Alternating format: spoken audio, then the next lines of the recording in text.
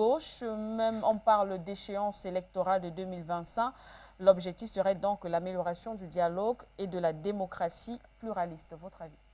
Bah, À mon avis, c'est un avis euh, d'observateur, quelqu'un qui suit hein, depuis la sortie du président Mambo euh, euh, cette évolution hein, dans le symbole même, le changement brutal vis-à-vis hein, de ce FPI-là qui est resté un peu trop longtemps sous la coupe d'un affinguessant et, d'une Madame Simone Bagbo un peu trop personnelle et très personnalisée. Donc euh, le président Bagbo n'a pas voulu aller au bras de fer. Il a choisi une nouvelle voie, une nouvelle ère. Et, c'est ce à quoi le congrès d'hier peut renvoyer. Mais on peut constater hein, l'absence de Pierre Dacoury Tablé. Hein, ce ponte très, très, très influent du, FPI ou encore d'Awadon Melo.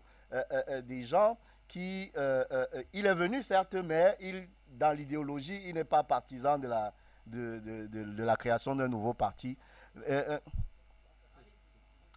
donc, je le dis parce que j'ai eu une information au début quand ça se, où il disait que non, l'essentiel c'est de rester unis. Quand on a vécu tout ce qu'on a vécu là, il faut tout faire pour rester unis et ne pas diviser. Ça c'est sa logique. Donc même s'il est là, il suit parce que c'est le leader historique et il voudrait faire pour accompagner, mais il n'est pas trop dans l'idéologie de la pour division, effectivement, effectivement. Donc ça, c'est l'approche euh, euh, euh, d'Awadon Melo. Maintenant, pour regarder le fond, on va constater dans le fond que tous ceux qui sont venus ont choisi un mode électif qui est l'acclamation. L'acclamation ici, pour moi, renvoie à un signifiant qui est celui de l'adhésion hein, totale à l'idéologie de l'homme, à la nouvelle approche de l'homme, à la posture et au charisme même de l'homme. Maintenant, est-ce que tout ça suffira pour euh, euh, déceler les taux euh, de la, nouvelle ère hein, constitutionnelle en Côte d'Ivoire? Vous savez que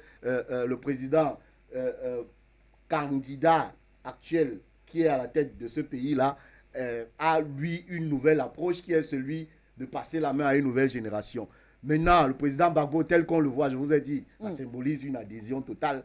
Et, il se comporte plus en chef d'État en puissance qu'en euh, euh, parrain ou paria d'un nouveau parti qui va faire naître une nouvelle génération, comme le veut le président et grand Manitou actuel de la Côte d'Ivoire. N'oublions pas qu'il est sous le coup euh, d'une condamnation avec les cas de la BCAO qui pourrait être agité hein, euh, euh, en, temps opportun comme euh, épouvantail pour qu'il ne se présente pas à cette élection présidentielle-là. Donc, au vu de cette mobilisation, de cette adhésion et, de cette crédibilité hein, renouvelée des partisans du président Bagbo, et au vu de la posture même de l'homme qui, je vous le disais tantôt, se positionne comme un président en puissance, on s'interroge sur la suite à donner à cette nouvelle ère qu'annonce euh, euh, le nouveau parti du président Bagbo et, forcément des ex-cadres du SPI. Donc euh, voilà le premier jet que je voudrais faire et, peut-être on rentrera plus. Donc ce sera juste un seul jet parce que c'est notre sujet,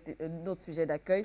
Donc c'est juste une seule prise de parole. Donc je peux y aller donc. Oui, rapidement pour moi, parce qu'on ne va pas mettre l'onda dessus. Oui, pour ma part, je pense que je suis d'accord que le président Bagbo est le leader historique, mais je pense que pour éviter que la Côte d'Ivoire ne ressemble, parce que forcément, quand vous voyez cette mobilisation-là, c'est des gens qui ont derrière une certaine conviction, un certain niaque, une certaine opiniâtreté, qui sont prêts à suivre le président Bagbo partout où il ira. Mais quand on sait que euh, vous avez des classiques du RHDP, euh, euh, notamment Adama Bitogo, qui font tout et feu de tout bois pour que la chose reste à la maison. Quand je dis la chose, c'est-à-dire que la présidence de la République, donc, et que vous savez aussi en filigrane, cette, je le disais tantôt, cette épouvantail là sur les cas de la BCAO, cette condamnation-là, qui déjà interdit au président Bagbo de se présenter. Pour l'instant, il n'a pas encore été initié, donc vous comprenez que la bataille risque encore être très rude et on peut retomber dans les mêmes travers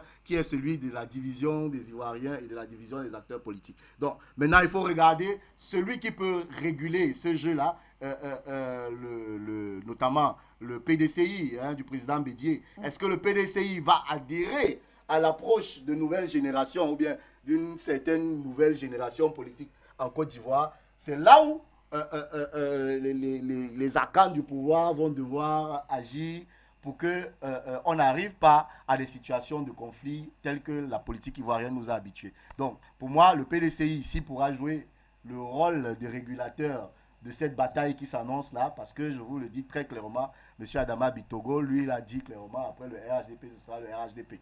Donc, de l'autre côté, le président Bagbo, on le voit très clairement, là, se mm. positionne en président en puissance. Donc, euh, est-ce qu'il devra hésiter? Est-ce qu'il devra se retirer pour donner une ère nouvelle? Pourquoi pas euh, euh, euh Blé Goudé? Pourquoi pas Il y a des, jeunes cas dynamiques là, on ne va pas tous les citer ici. Mais pour moi, ça reste le problème de fond. il faudrait qu'on l'analyse sous le prisme hein, de, des perspectives ivoiriennes. Merci à vous, M. Victor Issou. On va...